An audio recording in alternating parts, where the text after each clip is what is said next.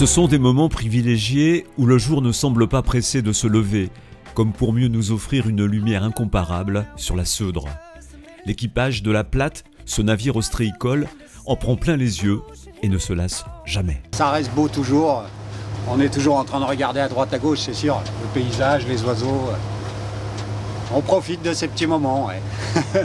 Pas question néanmoins de se laisser distraire. Il faut repérer les balises qui indiquent l'emplacement des parcs à huîtres. Commence alors une course contre la montre, car l'eau baisse vite et dans 20 minutes, il ne sera plus possible de repartir. On pêche des poches pour préparer les fêtes là. Donc elles sont sur les parcs, pas très loin.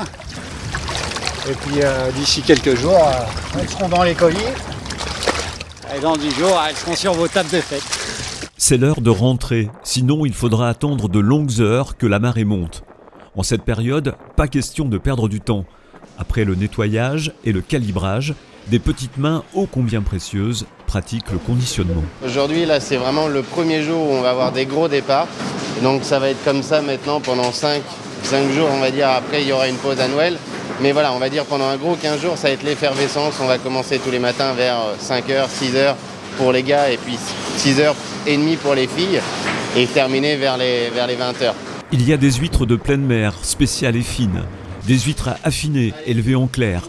La réputation des huîtres marraines oléron n'est plus à faire, celle de la maison Papin s'est forgée depuis 1906 et l'aventure ne va pas s'arrêter en si bon chemin. Ça a commencé avec mon arrière-grand-père, donc Édouard. Ensuite, il y a eu mon grand-père, Émile, mon père Yves et maintenant moi, Emmanuel. La maison produit et vend environ 400 tonnes d'huîtres chaque année, notamment au marché d'Angoulême et au Sable d'Olonne.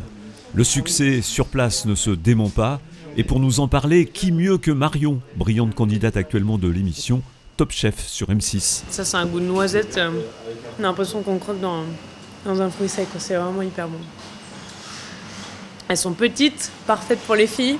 Et elles sont vraiment délicieuses.